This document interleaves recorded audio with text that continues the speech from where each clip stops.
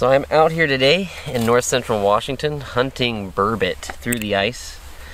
Typically these fish spawn in February and March. And I'm using a heavy spoon that glows in the dark and has a rattle. It's called a trout and pout spoon. Coating that with uh, some crawfish oil and uh, tipping that with a night crawler. Let's see if we can drum up some burbot here.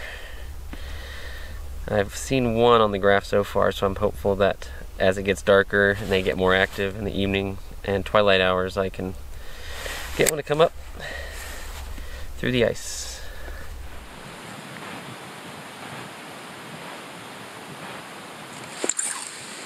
There we go.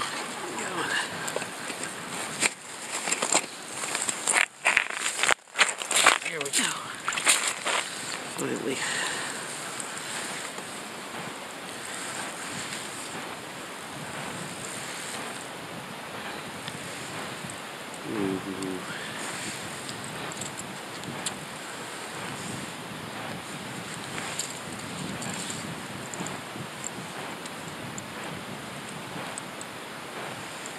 Nice.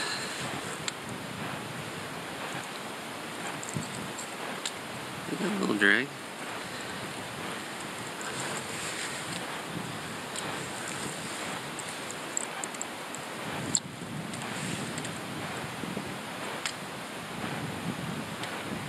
Turn this one. Get it turned.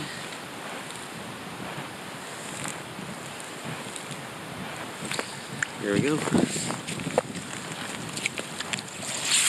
That's a good burbot right there. Oh yes.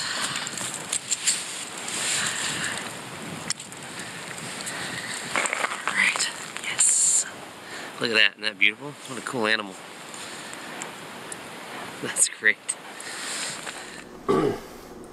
Okay guys, I got my one burbot here. Um, at least I got a decent one. Uh, these fish are equally strange to fillet, so I thought I'd go through some of the basic fillet procedures for getting fillets off these, your meat off these burbot, boneless. Um, you actually end up with three boneless fillets, so it's a little bit different than you'd expect. And I'm going to take you through those steps. What you need is a good sharp, uh, flexible fillet knife, and then um, some kind of heavy duty pliers. Um, what works really well actually is a pair of fishing pliers that has the split ring pliers built into the end of it, but I lost my pair, so I'll just try and make do with these heavy pliers here. Alright, let's get to work. Oh, I also have a bowl of just um, salt water here that I can throw the fillets into when I'm done, and that will uh, help get rid of some of the slime, because these are slimy fish, and some of that blood too. Okay, so the first step we're going to do is make a complete incision all around the entire head, but we don't want to cut into the meat. We just want to cut the skin, just so just skin deep.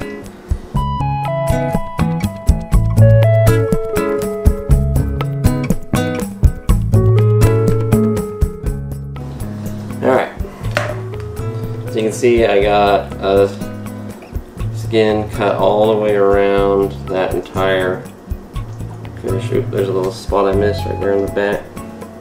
There we go. Okay, all the way around. Now we're going to grab a hold of this skin with a pair of pliers and we're going to peel it back like a sock coming off the fish. Alright, so let's go ahead and grab those pliers and you can use the pectoral fins there. Just grab a hold of that skin start peeling it back. If you start to get too much meat attached to the skin, you can just use your knife to cut it so that you don't get a lot of meat loss. You can see it's just coming back all along here. And you can use the gills and pectoral fin to sort of give you some leverage.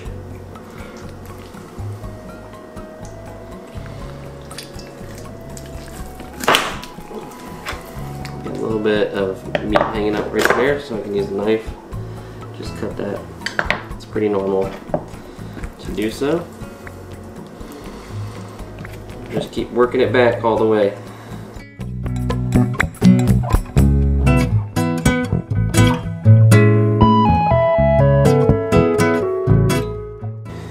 Okay, then we need to remove the fins. So we have the top long pectoral fin and you can actually just grab down towards the base of that with those pliers and you should be able to just pull it off. A lot of times it'll just zipper off. You can do it right.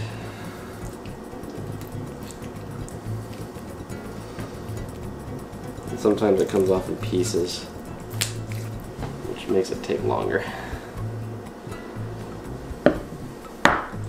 See if I can use a longer pair and get the zipper off. There we go. Oop, thought I had it.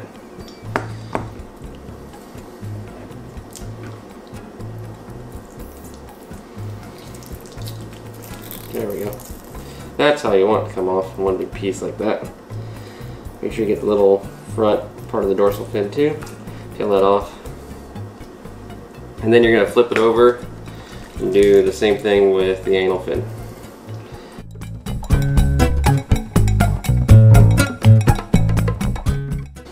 Okay. So now what we're going to do is cut along that spine with that knife down until we hit the ribs and then we're going to cut out away following the ribs. So there's a nice easy line to follow where you pulled that dorsal fin out. Just make an incision downward. You'll feel the spine.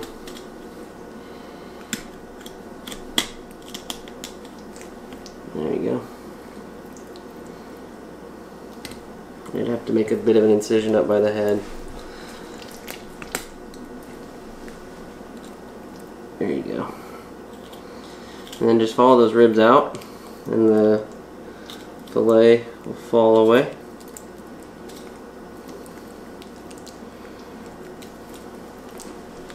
You can then continue that all the way on down the back, down to the tail.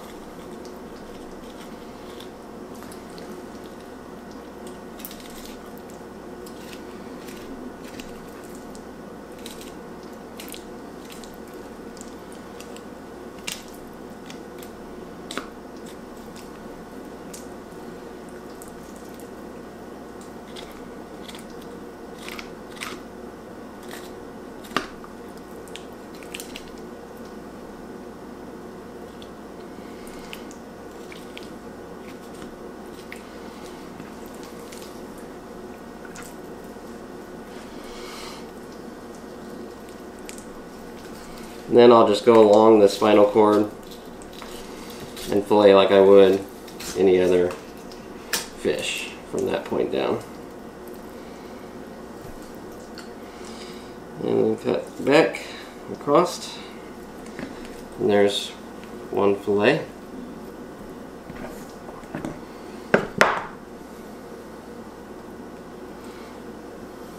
And then do the same thing on the opposite side. Okay, and then, unlike a lot of other fish, there's this big triangle of meat on the belly. In order to get to that, you just cut across the top of the body there, from pectoral fin to pectoral fin.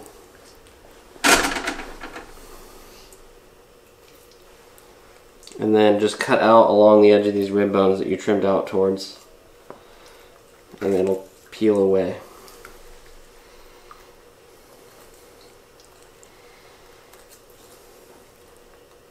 Just trying to stay on the edge of those rib bones there.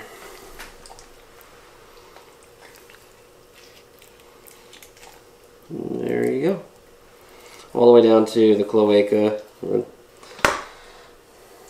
And there's another nice triangle of meat. There's a little bit of meat, a strip here along the belly that you can try and get to that a lot of people forget about.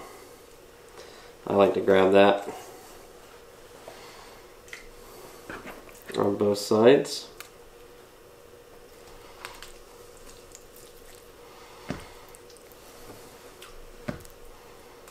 You just cut straight down along each side. Just a little strip. Alright, so we have that burbot all cleaned, ready to go, and we got the meat soaking in the brine here. So I'll take this out, dry it off to get that slime off there, and uh, ready to cook it up.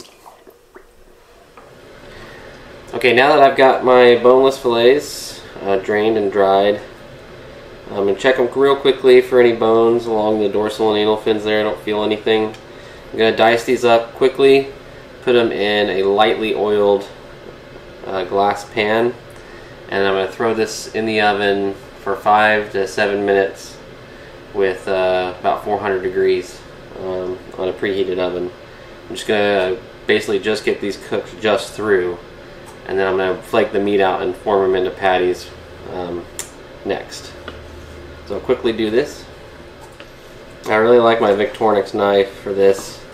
It just works really well with fish. Right, then very quickly just salt, lightly salt the fish. That'll help firm it up while the oven is preheating. As well as hit it with some black pepper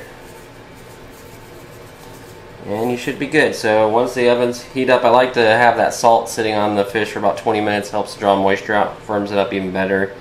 I'll throw it in the oven and bake it through for five to seven minutes. Okay, while the fish is finishing up in the oven, we're going to go ahead and make the sauce that we're going to mix uh, it in with the patties. So, first thing we need to do is get our ingredients, which will be lemon juice, Yogurt, Greek yogurt, plain, non-flavored. Mayo. Oop, there's the fish. So I'm going to go ahead and turn off the oven here. Pull the fish out. So we're going to let that fish cool so I can flake it out just a bit.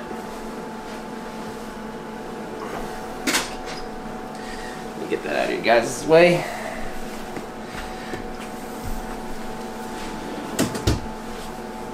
Okay, so lemon juice, Greek yogurt, mayo, spicy brown mustard. Uh, since we're doing kind of a, a, spicy version of this today, we're doing some sriracha, paprika, got some green onions, and an egg. So want to do about a tablespoon of the yogurt. This can just be approximate. It doesn't have to be exact. You also want to do about a tablespoon of the mayo.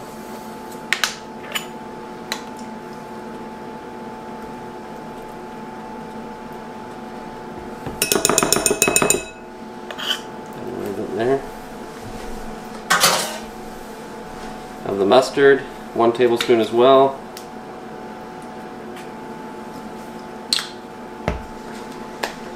And tablespoon of the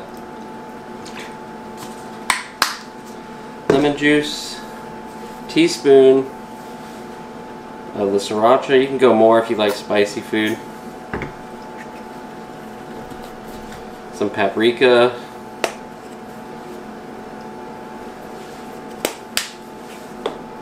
green onion, and then you'll want to beat that egg up a little bit before stirring it in. Just break it up, get that yolk busted up, scrambled. Pour that in there. You can also add whatever else you want to. If you like garlic or dill, it's a good choice as well. Now you're going to mix all this up Got some nice color to it. Then you're going to take, once the fish meat has cooled, you're going to take and flake that in here with a full cup of panko breadcrumbs. You can use um, any kind of breadcrumbs you want or if you want to use crushed saltine crackers or whatever. It's really a personal choice. So I'm just going to let that fish cool for a second, then we're going to flake it up and put it in here. Okay, so now I'm going to grab the bits of the burbot that I baked in the oven and throw them in here with all the sauce. It's a nice firm meat, doesn't fall apart, so it's nice. Gives it a good texture. Some people call it poor man's lobster, but that's a bit of a reach. Definitely has the texture of lobster, but not the taste. I'll put that in here, and then we're going to add those panko breadcrumbs. And then we're going to mash this all up together with that sauce. So see now when I press it down it starts to stick together. That's where we want it to be before we bread it lightly in cornmeal and fry it. I like doing the cornmeal just because it gives it a nice color and a different bit of texture. Alright, next we're going to make a quick sauce that we're going to use to garnish our patties once we get done frying those. So again, taking about a tablespoon of mayo.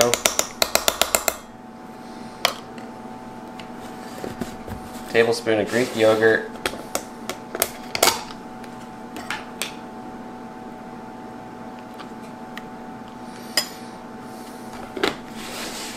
Teaspoon of dill.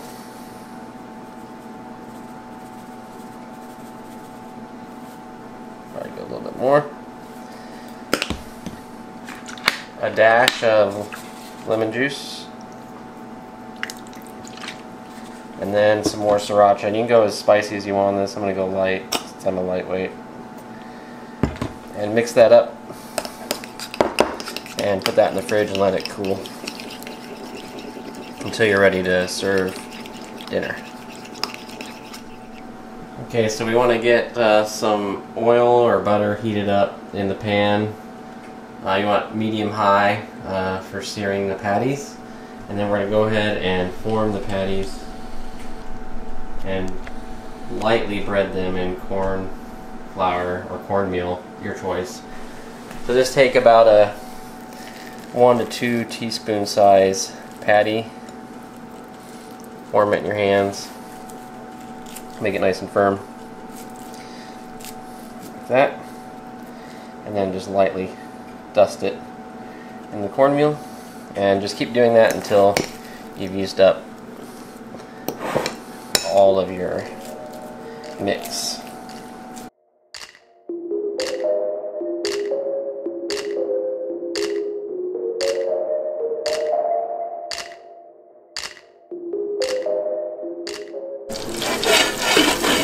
Now depending on what oil you use, you want to be careful. Um, butter and olive oil can burn at a lower temperature. So if you're not sure, go with canola because uh, it burns at a higher temperature. But in general, you can have, I'll have my stove setting at somewhere around a 7 or 8 and go a little higher with canola.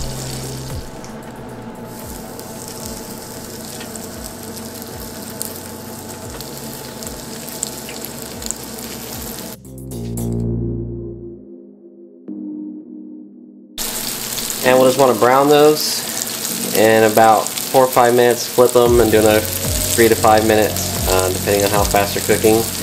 And then uh, dollop some of that garnish sauce that we made earlier on top and chow down.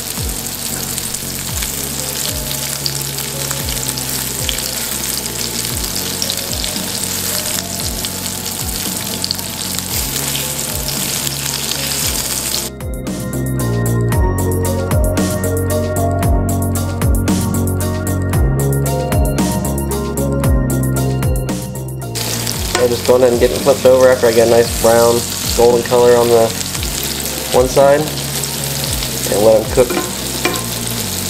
on the flip side for just a little bit longer.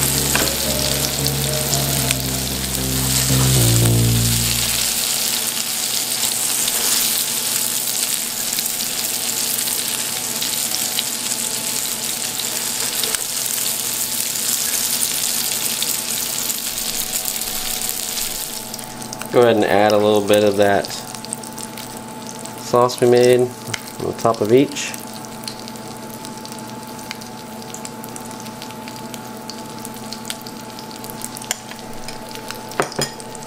Garnish with a wedge of lemon. And if you really want to be artsy, you can add a little drop of sriracha on top. And then go ahead and serve with whatever you'd like to. I recommend uh, some sort of potato and vegetable and then nice cold beer.